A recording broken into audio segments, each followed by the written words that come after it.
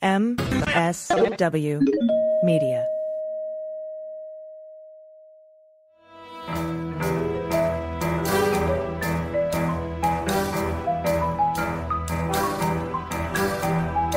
The rule of law is not just some lawyer's turn of phrase. It is the very foundation of our democracy. The essence of the rule of law is that like cases are treated alike. That there not be one rule for Democrats and another for Republicans, one rule for the powerful, another for the powerless, one rule for the rich and another for the poor, or different rules depending upon one's race or ethnicity. To serve as Attorney General at this critical time is a calling I am honored and eager to answer. So, yeah, now it's cleanup on aisle 45 time. And for a long while yet, it is going to be cleanup on aisle 45. Hey, everybody, welcome to episode 125 of Cleanup on Aisle 45. It is Wednesday, June 14th, and we have a lot of big cleanup happening this week. I'm your host, Allison Gill. And I'm Pete Strzok. And because we record the show on Monday and you're listening to it on Wednesday, you're living in a post federal arraignment time. And we're in a pre arraignment time here, but by the time you hear this, the former president will have been arraigned in federal court on 37 counts. Now, before we get to that, we have a lot of other news to cover today, including an update on the E. Jean Carroll case, new evidence that DOJ is prosecuting Erik Prince and Project Veritas potentially in terms of using training operatives to infiltrate the DNC and other Democratic entities in the 2020 election. And finally, some news about the federal prosecution of one Congressman George Santos. Yeah, I almost like completely forgot he's also been federally indicted on multiple counts that are pretty serious. um, plus, we have some new Jim Jordan investigations. Dun dun dun. And uh, the House Ethics Committee has quietly reopened their investigation into Matt Gaetz. But first, we need to thank our new patrons. Patrons, you make this show work. So thanks to SVM, Tony Long, Tiffany J, Joanna, Derek Sullivan, Larry Zappaterini, Levi Barnett, Amy Barth, Christine Brown, Joan Panzella, Jane Lorden Kelly, Lori Keenan Watts, Sheridan Perkins, Anonicus, Mystery Sage, Shenanigans in AZ, Andrew Richter, and Ty B. You guys, seriously, thank you. You make this show run. Uh, if you want to kick us some support, uh, you can do that by going to patreon.com slash aisle45pod, A-I-S-L-E 45-P-O-D. You can name yourself whatever you want, like they do in pub trivia, and we will read it on the air. so thanks very much. Pete, let's, uh, we can't not talk about this arraignment. We break a, a bunch of stuff technically uh, apart and we do deep dives over on the Jack podcast. But I really wanted to get your thoughts uh, on what came out in this indictment, particularly the photos of boxes in ballrooms and bathrooms. And it's just, um, I didn't have as close of a relationship to classified material for as long as you did. Um, or as close as you did, and so I really wanted to get your thoughts on on on, on what you read in the indictment. Yeah, I mean, look, it gives me a case of the hives, and not just the fact that Trump had not one, but two half-assed little chandeliers in his shitter somewhere at Mar-a-Lago, the little itty-bitty chandelier over the commode itself. Um, it, it was more like just, again, you've got anybody who handled classified information on a regular basis. Like, look, I, was, I had a clearance in the Army, but literally I could count on one hand the number of times I had access to classified information. But on the Bureau, daily basis had access to classified. And, and listeners, I mean, if you had a clearance, you know this. If you're in the intel community, you know this. But I, Allison, I got to tell you, like, if I had FBI headquarters sits across Pennsylvania Avenue from the Department of Justice, literally, like, you know, not even a block. Walk across the street and you're there at DOJ. If I wanted to take a top secret document from the FBI to DOJ for a meeting, I would have to show up at work. I open the combination safe lock on the door, outer door to the office, open that up, put my phone off to the side because I can't carry it inside the SCIF, go inside, turn off the alarm, go into my office, open another safe where the classified document is. If I wanted to take that to DOJ, I'd have to take that document to some control officer who would sit there and generate a receipt that had a particular uh, number on it and number of copies on it, attach it to the document, go back to my office, get a special bag to put it into that then would zipper shut and the big heavy duty lock that would close, lock the bag that the document was in, stick the pocket in, stick the key in my pocket, the pocket, by the way, next to my sidearm that I was wearing on the trip across. So now I've got my bag, my sidearm, the lock bag. To do this, though, before I do it, I have to have a courier card where somebody in security division gives me a bunch of training, informs me about what I have to do if I'm going to be carrying classified information around outside of SCIF. With all that in hand, I then walk that 100 feet across Pennsylvania Avenue to DOJ. I then go into DOJ. I go to the person again in a SCIF with all these sort of same the locks and everything else. Give them this document that they then has to sign for. And then after we're done with the meeting, I have to then go back across the street, take it to the person, give them the form that I delivered the document to. So there's this huge process when it comes to classified information and the way that you have to protect it. And of course, the way you have you you have to protect it that way because of all the the sources and methods, whether it's some human source that the CIA recruited, you know, and some thousands of hours of work that go Right. into that. Yeah, and it, it- to recruit them, and then they're providing information. If they're found out, you know, somebody the CIA's recruited that's working in Iran or working in China or working in Russia, if they're found out, they're going to get arrested and more likely than not executed. So it's like serious business. Or maybe it's from super, some super like high speed sensor on a satellite overhead, or maybe it's some super high speed, really sensitive way that the NSA has figured out how to intercept some sort of signals intelligence. But all of this takes an extraordinary amount of time and money. And then once you do it, certainly on the human side, if that information gets out, you put somebody's literally put their life at risk. And then we're sitting and we see these photographs of a ballroom at Mar-a-Lago stacked, you know, several boxes high.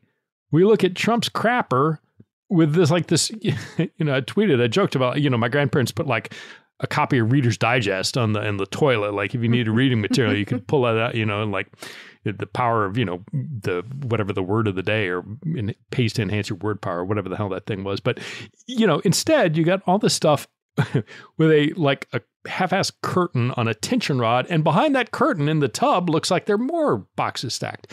So the question is like, on the one hand, just the cognitive sort of dissonance between spending 20, 25 years handling classified information so carefully and then seeing it sort of strewn all over Mar-a-Lago with boxes knocked over. And again, we're not talking one or two, Allison. We're talking, and this surprised me too.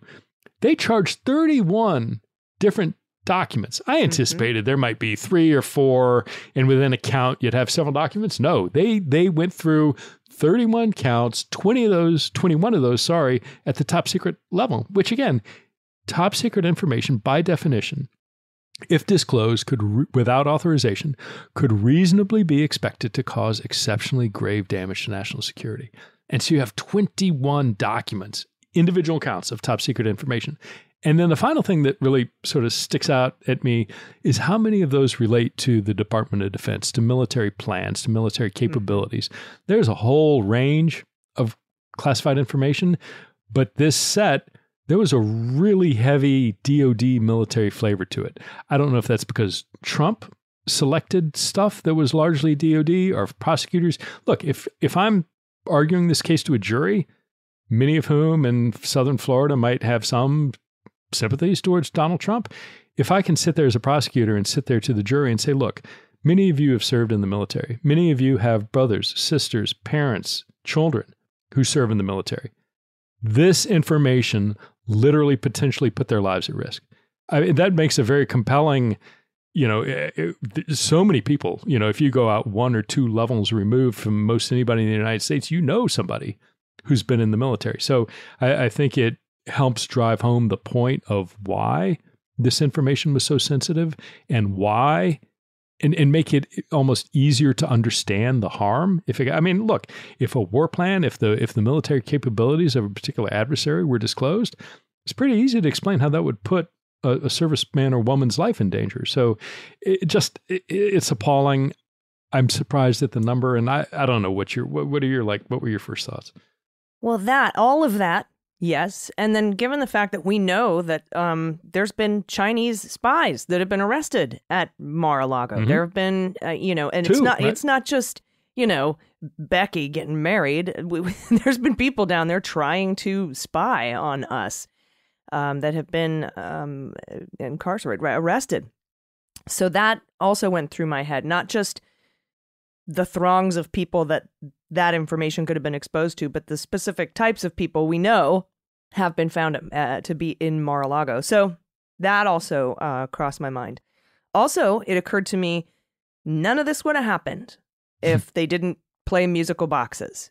I think you know. I mean, the the 31 document counts are there to to underlie the and underpin the seriousness of the obstruction charges and to give a foundation for it. Because if you remember, Bill Barr wrote a whole memo saying the reason that we couldn't prosecute Donald Trump for what happened in volume two of the Mueller report was because there was no underlying crime. So that's totally untrue. But the Department of Justice has completely removed any and all doubt in this particular case that there is an underlying crime, and that is retention of national defense information under the Espionage Act. Um, we, I- also, something else I noticed there were things that weren't in here. The the pool draining incident was not in here. The um, uh, dissemination was not charged. Even the two documents he waved around that we have him on an audio tape for, I don't think are part of this this collection of thirty one um, documents. I don't even know if we were able to find them or get them back or where they are. That's also something that's frightening. There's still a 30 boxes of missing stuff um, that aren't accounted for, at least not in this indictment. But I don't think, I think that those instances of him waving stuff around were simply there to show and prove his intent and that he knew he had classified material and that other people shouldn't be able to see it. Uh, yet it was strewn about carelessly uh, in his uh, residence down there and in other places in the in the resort. I guess resort is a doing a lot of heavy lifting there. If you want to resort to go there, I guess. Um, uh, but those are the things that that stuck out to me um, a lot. Is that all this is about? All he had to do was return the stuff to the National Archives, and then he had a second chance with a subpoena where he could have handed everything over uh, properly, and he he failed to do that again. And now we're in the position we're in because, like I said, they played musical boxes, obstructed justice, and, and fucked with law enforcement and, and the Department of Justice on this. Uh, it could have been avoided. I think if he had handed everything in, we wouldn't see charges. Yeah, I think that's right. And like of the 31 documents, none of them came from the batch of material that he voluntarily gave back to the National Archives. Every single one of the 31 documents either were given in response to the subpoena from DOJ or were found during the search warrant. So again, I, I agree with you. This is absolutely a criminal disaster of his own making, and he's you know unrepentant. I think that was the you know, we won't probably spare everybody a dramatic reading of the conversations that they put in there, but this taper is essentially he's like, you know, see, as president, I could have declassified it. Now I can't, you know, but this is still a secret.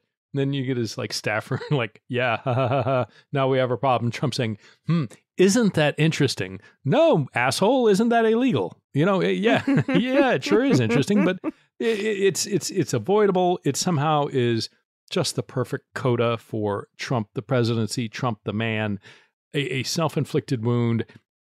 I, and I truly believe, had he not run for president, also, you know, all the things, all this spotlight on past bad behavior, alleged past illegal behavior, all of that, simply because he decided to seize, we wanted the spotlight, and you know, charged into this unrepentant, and now, you know, crows are coming home to roost.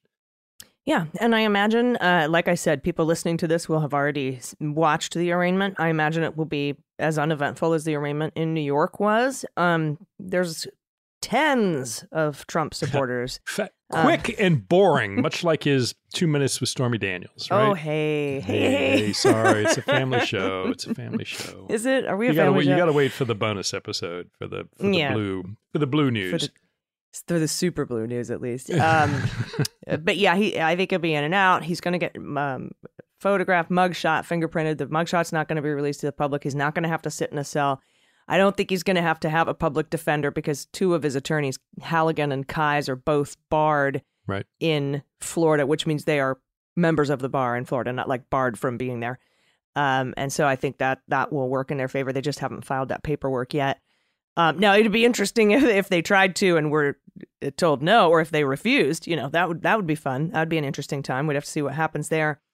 Um, and it's going to be interesting to see how Judge Aileen Cannon handles this case. God, don't get me started.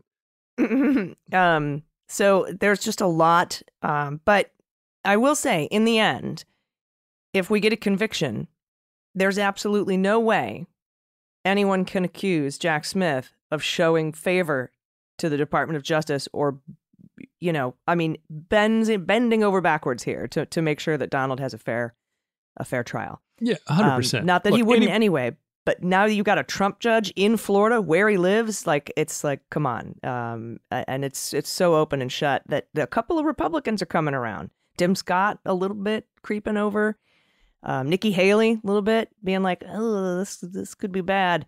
So I mean, we'll see how it goes. I don't think there's going to be a huge violent uprising. I think the violent uprisings are now going to be contained to the one-off sort of you know the stuff we saw in at, you know at the FBI headquarters with the shooting and the the guy who rammed his car into the stanchion poles at the White House. I think the CNN bomber. I think that's the kind of stuff we're we're mostly going to see from now on. And I think a lot in a large part that has to do with the deterrence of the Department of Justice handing out 17, 14, 12, 11 year, 4 year, 3 year sentences to people who attacked the Capitol on January 6th. Yeah, that's absolutely right. I mean, I, again, I think that for Miami, from federal to state to local law enforcement, they're going to have the area very well secured. The courthouse itself is going to be very well secured. I think they're prepared to, like anybody who might be inclined towards violence, I think they're going to be ready for it. I'm, I'm absolutely with you. My concern is not there at Miami. My concern is just like you know this kind of somebody who clearly had issues, you know, two or three days, I think, after the search warrant at Mar-a-Lago in the middle of Ohio in Cincinnati, gets an AR-15 and a nail gun because he thinks the nail gun will breach, you know, ballistic uh, glass, and it doesn't, as he found out. But it, it's not the threat right there at the courthouse. It's any crazed supporter. And again, most most Americans are law, law abiding. Most Americans are not, you know, whatever their political persuasion, they're not going to pick up arms and try and attack somebody. But if you have like one one hundredth of one percent of 30 million people, th- that's still a ton of people. And so my worries, I'm, I'm exactly with you. I, worry about what happens where some kook in Phoenix or some nut in Bismarck, North Dakota decides that he's going to stick it to the feds and he decides to do something stupid. And so everybody's got to be on guard. And you know, Trump is signaling all the you know the nonsense he was talking about Jack Smith naming uh, Smith's wife by name. I mean, this is all everybody knows what that's for. You know, it increases the spam, but it also increases the threats. And so, you know, it's it's unfortunate. It's expected. I would hope the judge would issue or be inclined to issue some sort of gag order that you know you can't go you know bad mouthing the prosecutor on social media or on radio interviews. I don't. I think the initial appearance is for a magistrate judge, not Judge Cannon tomorrow. But you know, I've got real. I I have a it's lot Judge of concerns Goodman. about Judge Cannon, right? And I don't think there's going to be a, a, gag order even from this particular judge. There wasn't in New York, although there were some warnings. Um, and and then they were there were some video conferences about what it means that the evidence is protected. Do you understand? Sign here 800 times. We might see something like that. Um, but those usually come after you've done something wrong. They don't generally pre-gag somebody like that. Um, plus, he's running for president. There's all these First Amendment considerations and da da da da da. So I don't think we'll see that. He's definitely not going to be remanded. He's going to be out on bail. Yep. Um, uh, Walt Nauta, wonder if he can afford his. I, uh, but he, you know, I just look at Walt Nauta and I see somebody who's like almost like, you know, a Navy vet, spent 20 years. He worked in the White House mess forever. Seems, to, I, you know, again, who knows the reality? There's no escaping the fact that the indictment clearly paints a compelling picture that Nauta was conspiring with Trump to obstruct justice. No question about it, as alleged.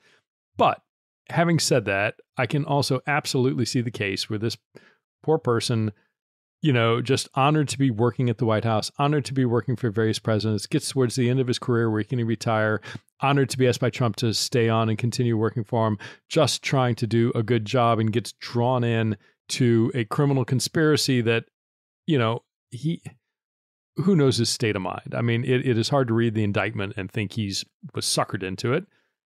But I do wonder to the extent how much he was getting good legal advice about the true extent of his legal exposure and whether or not he should have gotten earlier advice to, you know what, let's sit down with DOJ. Did you lie? If you lied, let's come clean. Let's make a deal. Because now he is facing serious federal felonies. He is facing serious jail time. And it just strikes me as he is not, you know, some conniving master, criminal mastermind. Yeah. And, and unlike I, Donald, he actually has to go to prison. And, and right, it just yes, sort of yes, yes. right. Donald might have to go to prison, but you know, there's other considerations there because of Secret Service stuff. But yeah, um, it it also just goes toward uh, how much disdain and and nonchalance uh, and misunderstanding, uh, lack of understanding of the service that Donald Trump has toward people who are in the military and veterans uh, and people we've lost. So that it's just it's kind of just all wrapped up. And, and uh, yeah, I'm I, am i am interested to know more about Walt Nauta's story as well and how he ended up in this position and what kind of advice he got. And his because lawyer's being paid for by Trump, and I wouldn't be surprised if his bail was paid for by Trump. We'll see. We'll see what ends up happening. Yeah, and it'll be interesting. I mean, it's one thing if you have an attorney who's representing you in the course of a grand jury investigation. Now he's been indicted in you know in federal court that's representation of a whole different color. And I wouldn't be surprised if we saw a motion uh, for uh, waiving a conflict of interest about about uh, his Stanley. Right, and then who's going to like you know to pick somebody up? It isn't just like oh you know you're doing it in build the Trump org and hope that they pay for it. I mean I can see somebody who's like if you want a serious competent defense attorney that's going to cost you know potentially a lot of money and if trump is going to pay for it given trump's reputation of not paying i can see you know folks demanding not for trump for Nauta demanding a significant retainer just to uh, take on that representation. Yeah. But you know, and at this point, at this point, they don't need him as a cooperator, so it's not like flipping is going to be save him. You know what I mean? So it's, uh, mm. but I mean, that you know, he could come in with some amazing proffer that we don't know about, and, and might be able to to work out a little bit better of a deal. But you know, it's it's better to do these things before you get before you get indicted. So, uh, and and Andy explained to me, he's like, we sit him down and we say, look. Uh, we'll do a deal with you, but if you lie to us, you're extra fucked, right? Right. Um, don't if you're not going to give us everything, then don't give us anything. I mean, they basically say that, you know, he's like, we, we, we prep him pretty well for that. And we give him the, like, you're in a lot of trouble, but I guess, I don't know. Well, uh, the backstory will be interesting when and if we hear it. Um, all right. Well, uh, we're going to take a quick break. We'll be right back. We've got this Erik Prince thing to talk about. So stick around. We'll be right back.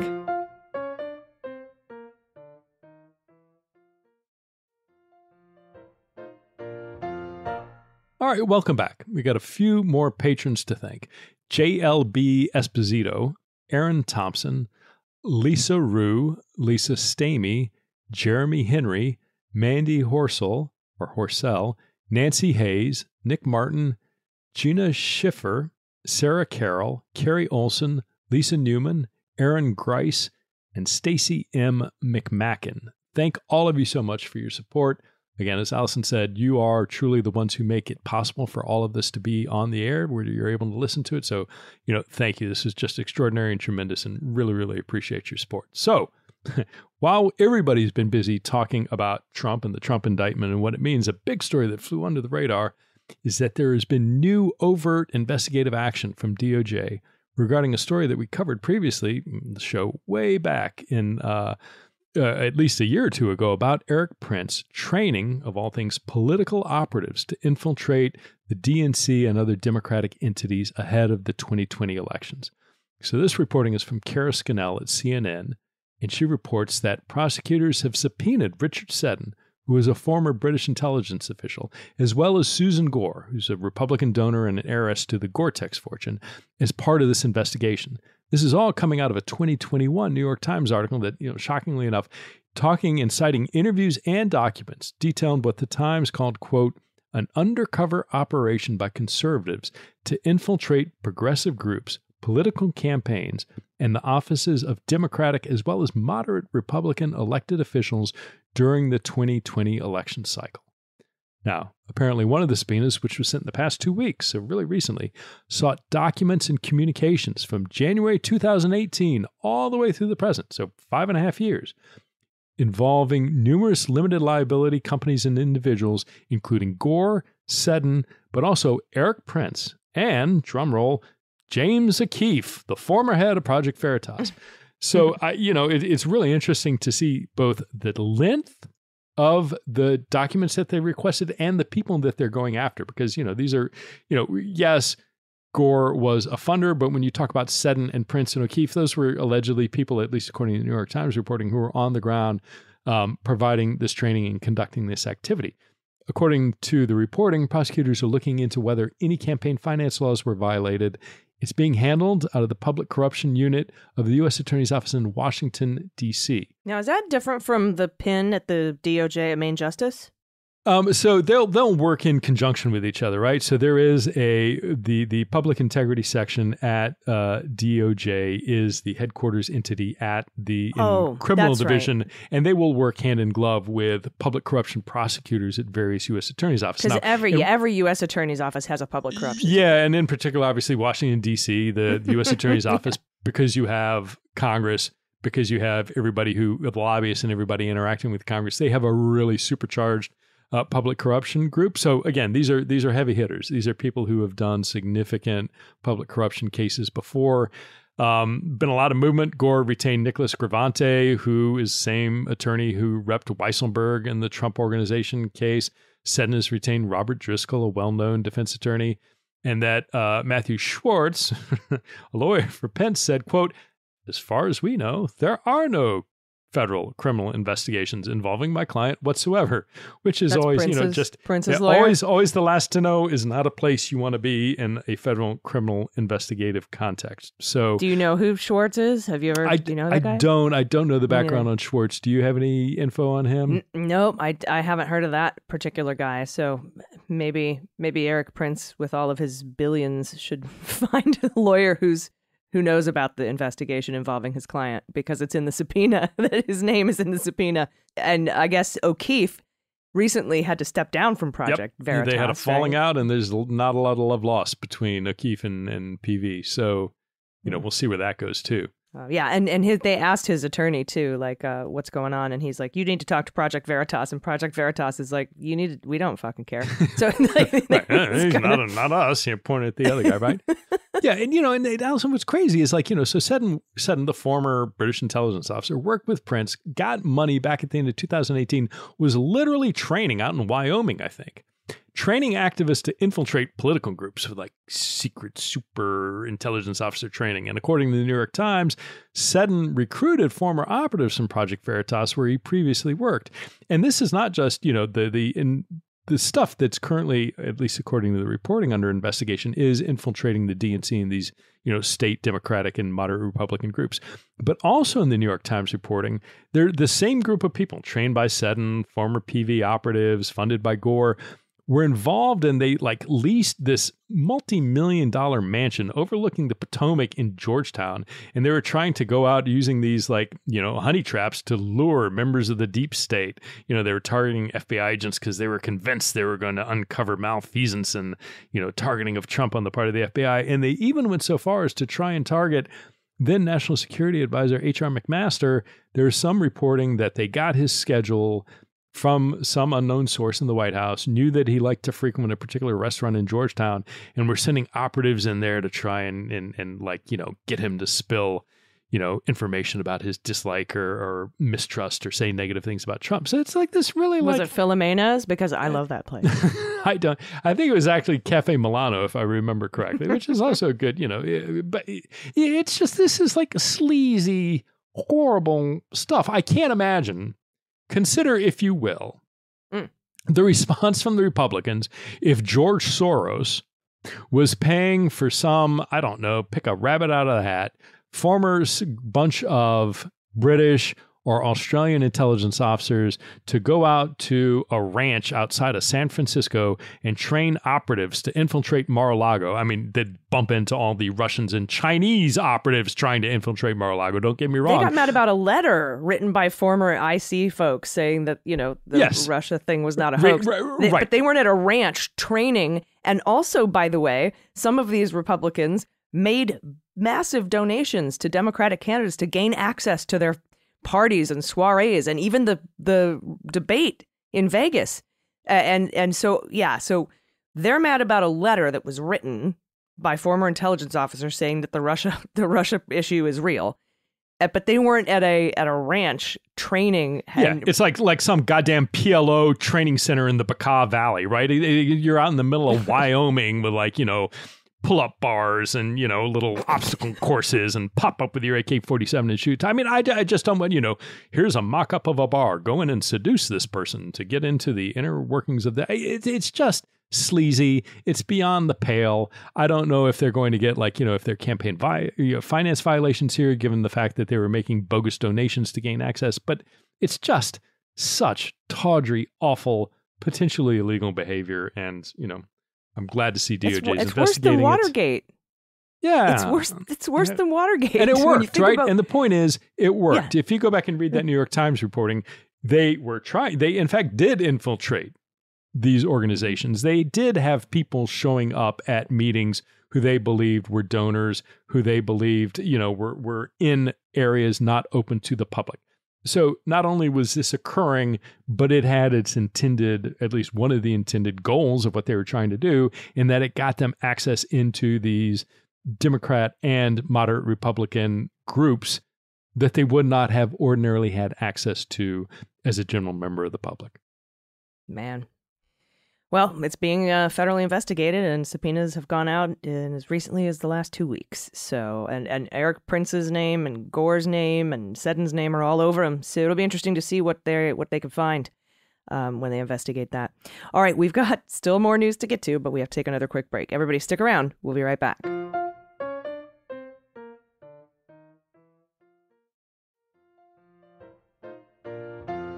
All right, welcome back.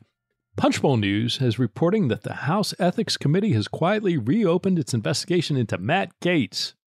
Now, at first, the House Ethics Committee deferred to the Department of Justice's investigation into sex trafficking, but since DOJ didn't charge that, the committee is picking it back up. The committee hasn't decided yet whether it will move forward with a special investigative summary, but if it does that, the move would be publicly disclosed probe is apparently about the same allegations that DOJ investigated, along with allegations about drugs and bragging about sexual conquest to other members. So I don't know the amount of appetite on the part of the Republican controlled uh, committee and subcommittee, but certainly, you know, Gaetz is a polarizing figure regardless of party, and it'll be interesting to see whether or not they decide to take this on. Well, Gaetz has been making Speaker McCarthy's life hard. And and here here here's my beans, okay? Put some beans on it. Do you remember during the speaker vote, what was it, 15 ballots, 13 mm. ballots, something? Uh, when there was almost a fist fight on the floor and somebody came up to Gaetz because he did he didn't cast the vote the right way that everybody thought he was gonna, and they whispered something in his ear. I think it has something to do with this. You know, you go our way, we're not going to look into you again uh, with what the fucking DOJ was looking at down in Florida. I don't know what happened to that investigation. I, that blows my mind that you know uh, that didn't go anywhere. But um, you you you know there was a deal made there, and I think it has to do with this. And I, and now they're reopening it, and, they're, and it, they're looking into the stuff. I'm all the same stuff: the sex trafficking, the coke orgies, and the Molly, and the MDMA, and then showing people naked photos of girls on the house floor and bragging about your car. Like all it's that stuff, right? It's the Madison Cawthorn type stuff. They got rid of him. Um, and I think that they said we can do it to you too. I don't that's all again speculation, but um, but, you know, with the motivation behind this quiet reopening of this matter. But uh, look for some potential fireworks in the future. I don't think they would have reopened this unless they were intending to go through with something. Yeah, and unless this is some sort of warning shot, but I think frankly, if there was any warning, it's oh, already been given. Be this is not, you know, that that warning. I agree with you that that warning has already been delivered. This seems like yeah. a, uh, you know, an escalation from that. So we'll see. I mean, yeah. just what? Oh yeah, we'll see. Let's watch. As my dad used to say. All right, next up from Raw Story in newly filed court papers, and I want to do a little content warning here because there's going to be some graphic sexual stuff. Uh, but the former guy, former President Trump on Monday made a fresh push to get the defamation claims against him dismissed by saying his denial that he raped author E. Jean Carroll was truthful. And so he couldn't defame her, and that a jury agreed with him. But E. Jean's lawyer, Robbie Kaplan, responded The jury unanimously found that Donald Trump forcibly inserted his fingers into E. Jean Carroll's vagina and then lied about it, defaming her when he said he didn't know who she was, not that he didn't rape her. He never met her at Bergdorf Goodman, he said. That's def- that's defamation. And that she had made the whole thing up as part of a con job or hoax. Again, defamation. She went on to say the jury believed E. Jean Carroll when she testified that Trump sexually abused her. As a result, the jury concluded that Trump knowingly lied about Miss Carroll when he claimed otherwise. So that's what's going on, and that's his latest trying to get trying to get out of this particular. Uh, yeah, this particular unbelievable. case. Let's let's parse out what rape is or isn't in the in the context of something. What, what an absolute sleaze bag. And she was honest in her deposition. She's like, "Uh, honestly, I couldn't see whether it was his fingers or whether he was penetrating me, and that is why the jury couldn't come to the conclusion that she, that he was raped. It's it, they did find defamation, and so to come back and yeah, like you said, split hairs about the definition of rape here uh, is it's disgusting. Yeah, and I'm you know there's one other thing I saw like I think it was sometime today that DOJ is essentially not yet taking a position on whether or not they're going to substitute themselves via Westfall Act for the president. This and they want the courts to decide some questions before they do it. And I I, I got to tell you I'm a little I, I was angry at the time when they made that decision the first time around, and I'm frustrated and angry right now that they won't like look. This is clear. They in in no reading of the intent of the Westfall Act is this in any way, shape, or form something that the government should be substituting itself for Trump in this behavior? And it's a little ridiculous that you know that that issue is still potentially at play. But you know, I we'll agree. what it was happens, Barr but- who made that decision, and I think that the amended complaint on Carroll One for the stuff he said during the CNN town hall has given uh, this DOJ the off ramp to to withdraw their certification or substitution uh, in this case. But he also tried to appeal it. This attorney general, uh, where he could have not and let it go. Uh, so, you know, maybe he felt he had to make the argument that the previous DOJ did in order to maintain integrity of the DOJ and not to give itself a black eye. But come on, man. So I'm hoping that they that they do the right thing here. And as soon as we get the information about whether they decide on the amended complaint for Carroll One, whether or not they're going to sub in for Trump, we'll you know we'll let you know. And in case you forgot, DOJ has charged George DeVolder Santos on multiple federal felonies. And he's been trying to keep the names of the people who paid his bill a secret. He had until last Friday to appeal the court's ruling to release the names. He got his filing in just right under the wire before the deadline, and in it he claims his suretors would withdraw from serving as his bond supporters if their names were released. Now, in response to that, media organizations had filed a motion to release the names because knowing who is gifting half a million dollars to a congressman, meh, it's kind of in the public interest. Now, Santos argues that he's, quote, basically told the public that they're family members, unquote, who don't exert influence over his work in Congress. Basically, basically, Allison, basically. Oh, Anytime I hear somebody like George Santos using the, the conditioning word basically, mostly, pretty much, more or less, kinda, sorta, you know. But then watch, it's it's Tom Fitton, and he's like, yeah, but Tom Fitton, Tom Fitton is my cousin. He's so he is technically like he'll just make up some sort of lie. We're, we are, it takes a village. We're all big, basically family members of each other. So, Yep. anyway, the filing shows the House Ethics Committee is also trying to get the name from Santos. And in all the the backdrop to all this, when you look at all those federal uh, charges, if he's convicted, he can he's looking at twenty years. I mean, it's a long time that he's facing. So you know these kind of little peepee games that he's playing about, you know, trying to like withhold the names. eh, they- They're not. I, I cannot imagine that the court is going to be amused. We'll see soon enough, and we'll see what gets uh, released. But I- I will I will go on the record right now and say when you're like basically saying that they're family members probably means they're not exactly entirely completely family members. So we'll Mm. We'll see what, you know. But he's such a long history of telling the truth. well, he does, and the thing is, what makes it helpful is that he is, you know, the great great nephew of the head of the Saudi Sovereign Wealth Fund, and so that he, that it really Mm-hmm. is family. No, I'm obviously teasing. I mean, this is Well, all that volleyball that he played sort of puts him in a precarious position. in the Walter Mitty-esque imagination of George Santos, everybody, everybody is a family member. Charles Lindbergh, the Rockefellers, the Gettys, the Rothschilds, all family, the all Trumps, family. Trump, the Trumps, we're family. We're high yes, five. the Shees, yeah, it's just, every it's every just the family. Save America pack that bailed me out. my uncle Kim, right? All everybody, right? Yes. God, Uh, God. all right, just uh, a couple of uh, uh, more quick stories, but again, got to take a break. Everybody, will be right back.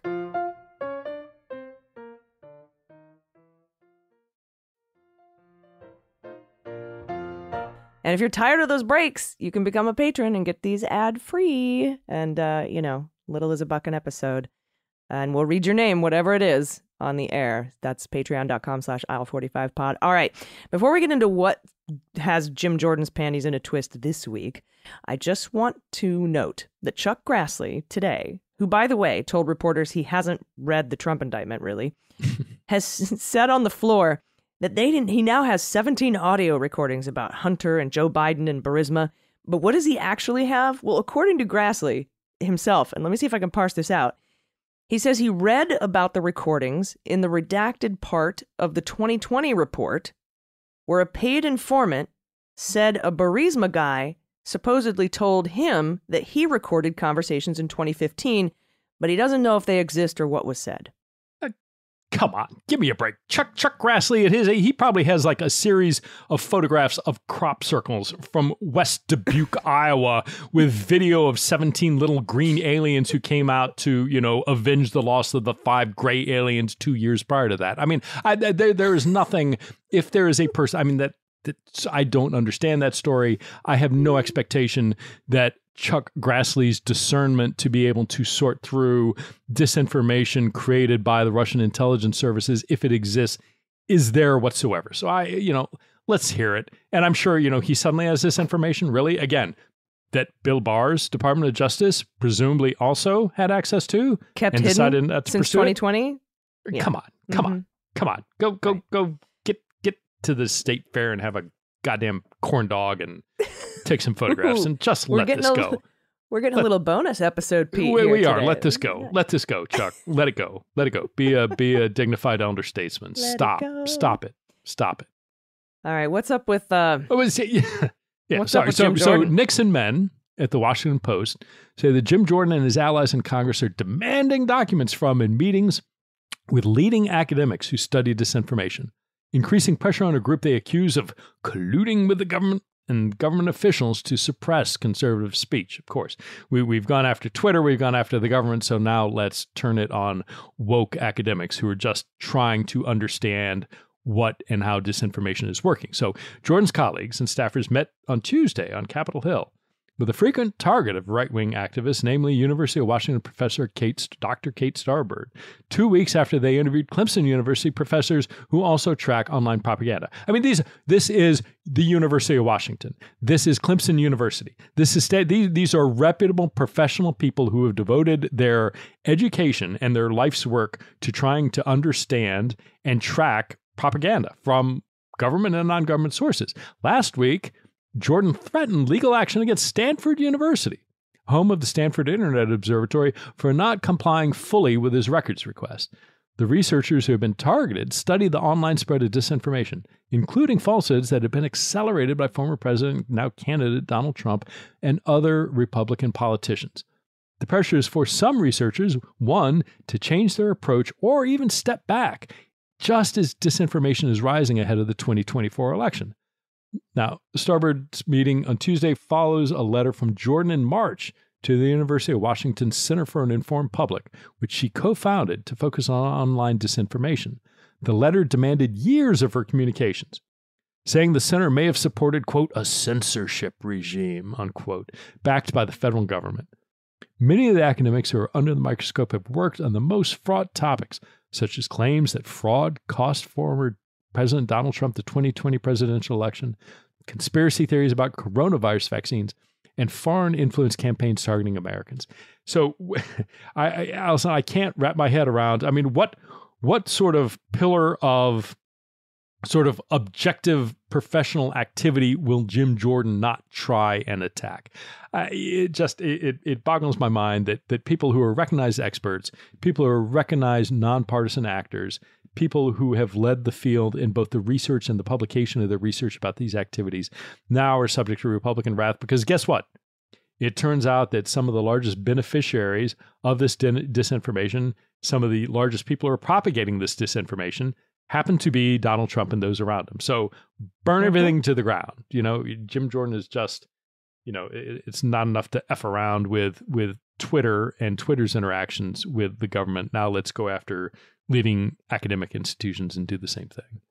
Yeah, and here's the part that interested me. The the, the day the, this is I'm quoting from the post here. The deluge of bad information about disinformation researchers' work also has led to a torrent of digital harassment, threats, and smears. Starbird has long been a target of online harassment, but the campaigns have grown brutal. Even when her colleagues and peers publicly backed her, the abuse took its toll, and she walked away from her Twitter account, which had about 50,000 followers, and cut back on media appearances. Quote, the set of techniques used to harass people online has gotten more sophisticated. Right now, there's a lot of bad actors who are using Freedom of Information Act requests. you know, to you know anything about that. Allison? Hey, no, I haven't been a target of any weird hit pieces or anything over the last five years. No, not at all. And, you know, she had a 50,000 follower uh, account, and I have a 650,000 follower account. So um, I'm I'm pretty familiar with um, with these digital troll swarms and the and the the attacks and the deluges and the threats and the so yeah uh, can confirm. Um, I'm not an ep- I'm not an academic by any means. Um, of course when they use the recording of me saying everything up to the point where I said I'm not an academic they'll go out there and say I claimed I was an academic and I should not be trusted. Um context it matters. But yeah this is um very scary to read. I mean this is stanford clemson uh, G like these are like you said reputable she just like information to protect the public groups you know like the, the the whole point of this is to make sure that people are getting honest information. And there's a whole group of people out there who want you to get disinformation and want to stop people who are trying to stop you from getting disinformation. Um, I, do you know anything about that with the Russia stuff? I mean, I can't, I can't think of it. Did anybody Yeah, try ju- to take you just- out or? just a little bit. And I mean, look, the fact of the matter is that when it comes to Russia, like there is so much for Russia riding on the upcoming election. I mean, this is like if Donald Trump is elected, there's not going to be continuing support anywhere near the same shape or form to Ukraine as exists now. And if Biden is reelected, then you're going to see a continuation and something that is really, really going to put Putin in a terrible spot if he's not already been overthrown by that point in time. but Right, my yeah. point is, Russian interest in the outcome of the 2024 US presidential election is far greater than it was in 2020, is far greater than it was in 2016, because truly it is a existential issue for Putin. And so you're going to Because see Because accountability is starting to happen. Uh, right, And, they want to cut that off at the pass. and, and speaking of which, I mean, there's a time, there's some reckoning coming. Like when you had all these ex Twitter executives hauled in front of Congress. I mean, Elon bought Twitter, so I didn't expect to see any sort of like support coming out of Twitter for their appearances.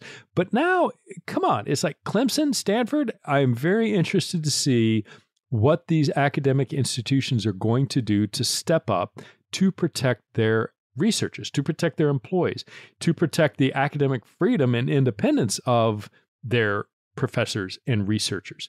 And I, you know, I'm curious. I, I don't, you know, I, it, it will be interesting to see. I hope it is robust.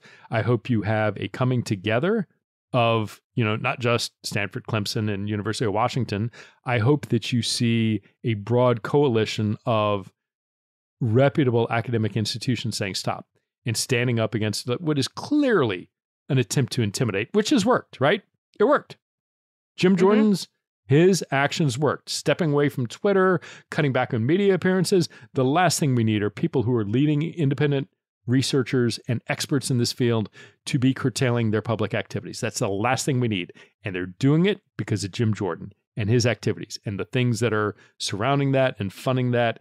And it's just a shame. And I hope that we see a reciprocal defense of this work, you know, coming to their aid. And we'll, you know, time will tell. We'll see what happens. And we will. And we'll keep an eye on it for you, too. And also in the coming weeks here, we're going to keep an eye on a couple of disbarments that are getting close to being Let's finished. go. We got Let's go. we, we got Eastman. We got I, I mean I can't even remember Jeffrey Clark uh, and and Rudy Giuliani. There's supposed to be decisions in these cases. Um, uh, we just got a federal judge allowing the the Clark one to go forward after he tried to stall it forever, but now that's back on uh, full force and.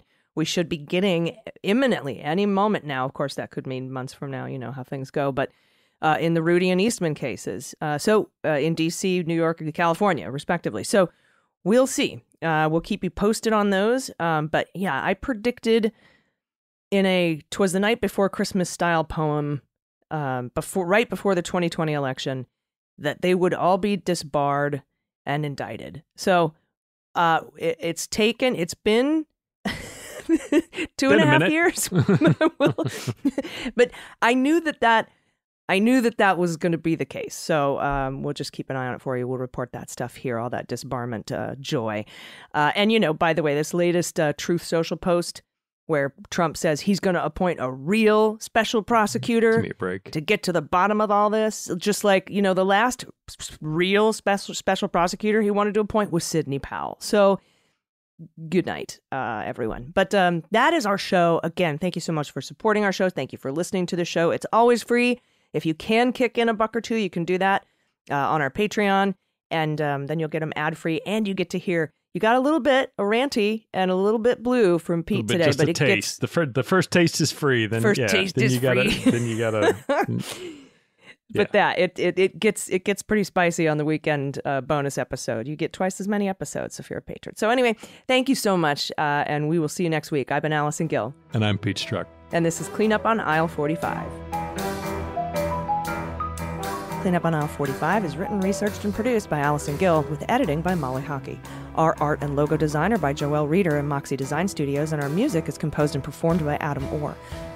Cleanup on Aisle 45 is a proud member of the MSW Media Network, a collection of creator owned podcasts dedicated to news, politics, and justice. For more information, visit MSWmedia.com.